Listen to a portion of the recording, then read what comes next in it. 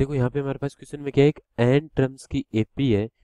उसका सम गिवन है, वो क्या है? फ़र्स्ट एन टर्म्स का सम गिवन है two N plus three N square ठीक है? एक अनोदर एपी है, जिसकी फ़र्स्ट टर्म तो सेम है, लेकिन जो कॉमन डिफरेंस है, वो डबल है, ठीक है? तो उसका सम हमें फाइंड आउट करना है, ठीक है? एन टर्म्स है उसमें भी। तो सबसे पहले एन टर्म्स का सम लिखते हैं हम। तो वो क्या होता है? यदि कोई एपी है तो उसमें एन टर्म्स का सम होता है, और उसमें हम ए फ़र्स्ट टर्म मान रहे हैं, और डी कॉमन डिफरेंस है, ठीक है?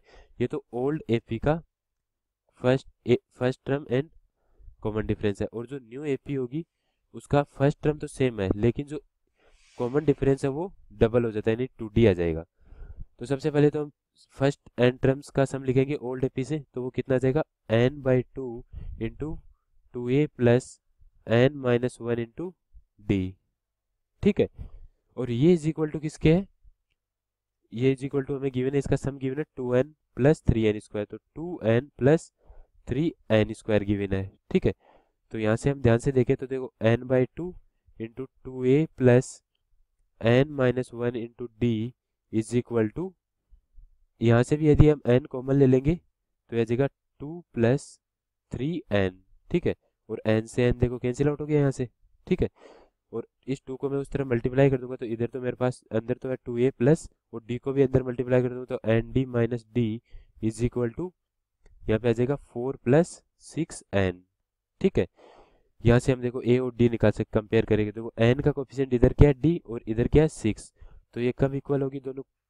जब डी इज़ इक्वल टू होगा सिक्स। तो डी की वैल्यू तो आ गई यहाँ से सिक्स एंड यहाँ से टू ए माइनस डी जो कॉन्स्टेंट है, टू ए माइनस डी ये क्या होगा? फोर इधर फोर है तो कॉन्स्टेंट के इक्वल और ये सिक्स है तो सिक्स प्लस फोर तो ए इज़ इक्वल टू आ जाएगा फाइव, टेन बाई टू।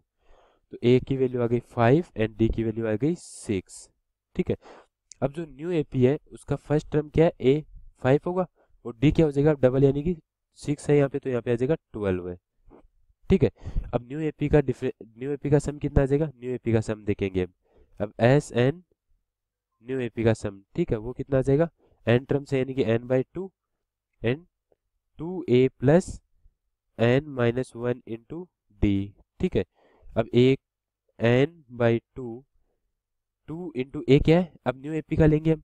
वो क्या है? फाइव तो आ जाएगा into five plus N minus one into D कितना है? न्यू एपी का ट्वेल्व है तो यहाँ पे ट्वेल्व लेंगे। ठीक है? यहाँ से देखो, अब कितना आ जाएगा? N by two into ten plus ये कितना आ जाएगा? ट्वेल्व एन माइनस ट्वेल्व है। ठीक है? यहाँ से हम देखें तो N by two into ten sorry ये कितना जाएगा?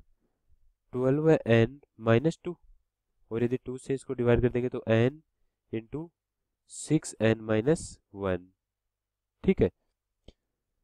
और एन को मल्टीप्लाई कर देंगे तो आएगा six N square minus N ये हमारे पास न्यू एपी का सम आ जाएगा। ठीक है? Six N square minus N यानी कि D option is correct okay easy है तो?